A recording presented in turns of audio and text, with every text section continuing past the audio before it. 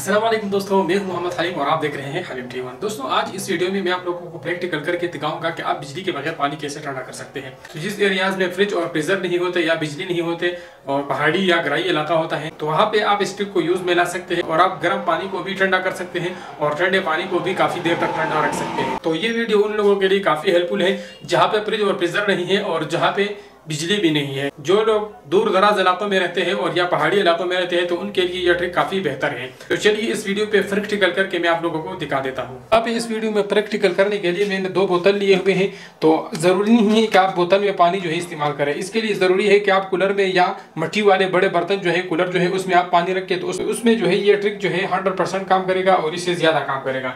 तो यहाँ पे हम पहले पानी गर्म कर लेते हैं और पानी गर्म करने पर यह ट्रिक मैं अप्लाई इसलिए करूँगा कि गर्म पानी को जो है हमने पीने का लायक बनाना है और इसको हमने ठंडा करना है। तो यहाँ पे मैं इसमें टेम्परेचर डाल लेता हूँ और मैं आप लोगों को ये प्रैक्टिकली करके दिखा देता हूँ कि हमारा जो पानी है वो कितना जो है ठंडा होता है गर्म होने के बाद। वैसे अगर ताज़ा पानी होता है ठंडा तो वो उसी तरह ठंडा रहेगा। तो यहाँ पे अब मैंने इसमें टेम्परेचर मीटर डाल दिया। आप लोग देख सकते हैं, इस पानी का टेम्परेचर जो है चौबीस डिग्री सेंटीग्रेड है।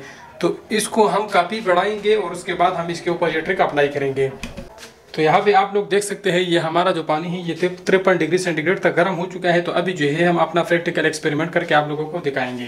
तो यहाँ पे ये जो दो बोतल मैंने लिए हैं, ये मैंने इसलिए लिए हैं कि ये गर्म पानी जो है, ये मैं इन दोनों बोतलों में मिक्स करूँगा और फिर एक बोतल में जो है, मैं ट्रिक अप्लाई करूँगा और आप लोगों को दिखाऊँगा कि एक बोतल का पानी दूसरे बोतल से जो है, कितना ज़्यादा ठंडा हो जाता है। तो चलिए मैं पानी मिक्स करके आप लोगों को दिखा देता हूँ। यहाँ पे जो है, पहले मैं इसमें कुछ ठंडा पानी डाल लेता हूँ, वो इसलिए ताकि हमारा ये जो पानी ज़्यादा गर्म है, ये जो प्लास्टिक का बोतल है, ये इसके साथ जो है छोटा हो जाता खराब हो जाता है पिघल जाता है। तो पहले मैं इससे ये शापर हटा देता हूँ। तो इसमें ऑलरेडी थोड़ा सा पानी पड़ा है।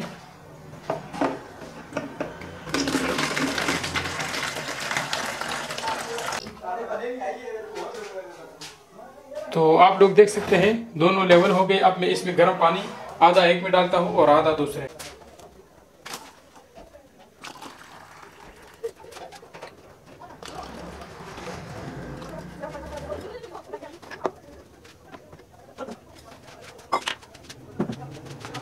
तो यहाँ पे आप लोगों ने देख लिया कि दोनों में जो है मैंने गर्म पानी डाल दिया है और मैं अब आप लोगों को टेम्परेचर दिखा देता हूँ दोनों का। आप लोग टेम्परेचर दे सकते हैं, बयालीस अशारिया चार तक चला गया। तो ये बयालीस अशारिया सात, यानी तिरयालीस टेम्परेचर है, क्योंकि सात से थोड़ा सा ऊपर जाएगा तो तिरयालीस डिग्री सेंटीग्रेड तक पहुँच जाएगा। और अब मैं दूसरे का टेम्परेचर आप लोगों को दिखा देता हूँ। तो दूसरे का टेम्परेचर जो है इकतालीस अशारिया तीन है, उससे थोड़ा सा कम है। तो चलिए अब हम इसके ऊपर ट्रिक अप्लाई कर लेते हैं। तो तो यहाँ पे मैं इसमें एक में अलग टेम्परेचर रख लेता हूँ और दूसरे में अलग रख लेता हूँ। तो दोनों का टेम्परेचर वाज नज़र आ रहा है, वो बयालीस है, वो बयालीस अशारिया दो है और यह बयालीस अशारिया पाँच है। तो टेम्परेचर लगभग सेम ये दोनों का। तो अगर आपने अपना पानी ठंडा करने के लिए ये ट्रिक इस्तेमाल करना है तो यहाँ से गौर से देखें, अगर आपके पास कोई भी बर्तन है, आपके पास मिट्टी का कोई बर्तन है तो उसमें जब आप पानी ठंडा करने के लिए डालोगे तो उसके ऊपर आपने इस तरह का एक मोटा कपड़ा लेना है, जिसमें अंदर पानी ज़्यादा जजब हो। तो पानी को तो कपड़े को आपने गीला करना है और उसके ऊपर लपेट देना है।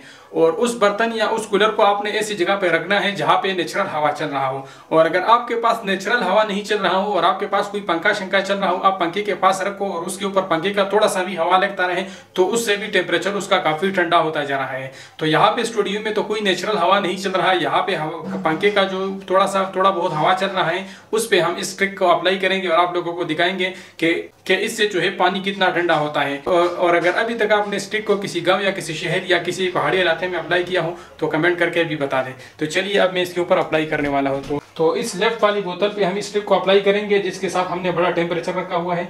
तो यहाँ हमारा जो नॉर्मल टेम्परेचर है वो तीस डिग्री सेंटीग्रेड है और बयालीस डिग्री सेंटीग्रेड पानी गर्म है।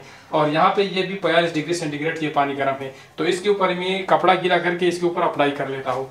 लेकिन इससे पहले जो है, इससे नीचे मैं ये एक जाम रखूँगा क्योंकि इससे जो पानी गिरेगा वो जाम में जाएगा क्योंकि कपड़ा गीला होगा।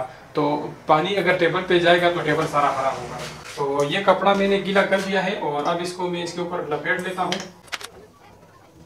लेकिन अगर आपके पास कोई नेचुरल हवा चल रहा है तो नेचुरल हवा का असर इसके ऊपर बहुत ज़्यादा पड़ता है। और इस तरह जो पंखे का हवा होता है, ये ऑलरेडी नमी से भरा हुआ होता है, क्योंकि ये जहाँ यहाँ पे सर्कुलेट होता रहता है तो इसमें नमी ऑलरेडी ज़्यादा होता है, जिसकी वजह से इसका कूलिंग काफ़ी कम होता है। तो नेचुरल हवा का जो कूलिंग होता है, वो बहुत ज़्यादा होता है। तो अभी जो है, इसमें दस बज के बीस मिनट है, यहाँ पे ये टाइम सही शो नहीं कर रहा। और घड़ी में जो है आठ बज के इकतीस मिनट है।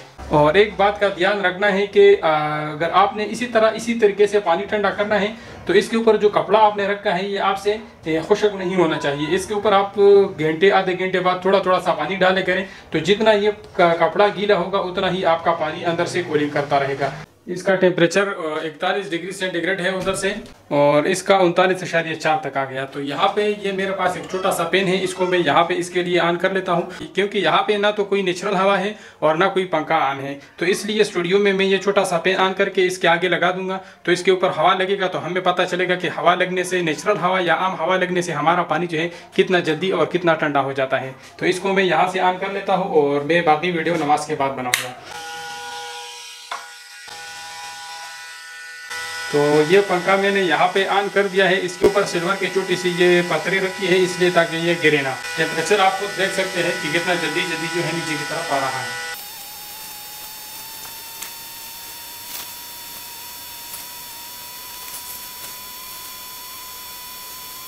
तो यहाँ पे आप लोग देख सकते हैं, आठ तीस से तैंतीस से स्टार्ट किया था और आठ पचपन हो गए।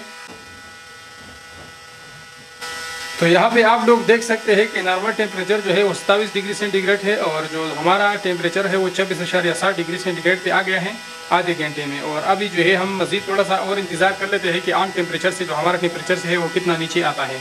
और ये जो दूसरा वाला पानी है, ये उसी तरह अभी भी सैंतीस डिग्री सेंटीग्रेड में है और इतनी देर में जो है ये थोड़ा सा जो है कम हो गया है, दो तीन डिग्री सेंटीग्रेड कम हो गया है।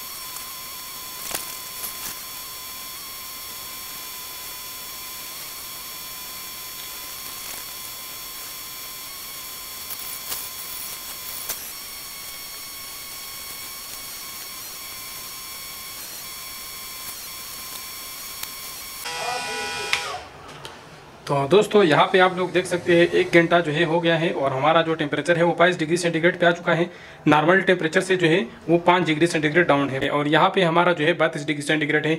तो आप लोग देख सकते हैं कि इस और इस पानी को दोनों में सेम रखा था और इस और इस पानी में जो है दस डिग्री सेंटीग्रेड का फ़र्क है। आप लोग साफ़ देख सकते हैं।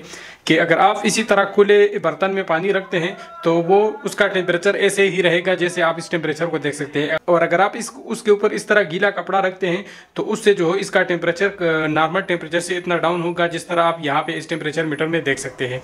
तो दोस्तों, आप लोगों ने वाजिह फ़र्क देखा कि अगर हम पानी को जो है उसके ऊपर गीला कपड़ा रखते हैं और उसको किसी नेचुरल हवा में रखते हैं तो उसका टेम्परेचर 17-18 डिग्री सेंटीग्रेड पे आ जाता है। और यहाँ पे जो हमारे पास हवा है, वो हमारे पास नेचुरल हवा नहीं था तो मैंने छोटा सा पंखा इसलिए इस्तेमाल किया कि इसके ऊपर थोड़ा सा हवा लगे। तो अगर हम इसको नेचुरल हवा पे रखेंगे तो इसका टेम्परेचर बहुत जल्दी डाउन होता है। तो इस ट्रिक को आप हमेशा मट्टी के बर्तन के ऊपर इस्तेमाल करो तो उसमें जो है इसका टेम्परेचर काफ़ी डाउन होता जा रहा है, सोलह और सत्रह डिग्री सेंटीग्रेड तक जो है उसका टेम्परेचर चला जाता है।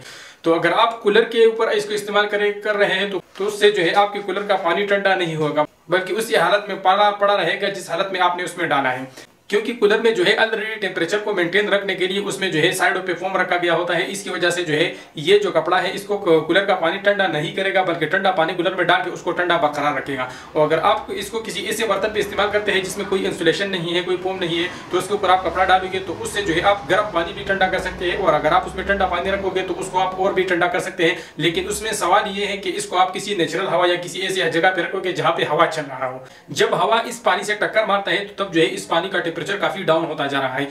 तो अगर आप लोगों को इस वीडियो से थोड़ा सा भी हेल्प मिला है तो इस वीडियो को लाइक और शेयर करें और चैनल को सब्सक्राइब करें। मिलते हैं इंशाल्लाह नेक्स्ट इंटरेस्टेड वीडियो के साथ। तब तक के लिए इजाज़त दीजिए। अल्लाह हाफिज़।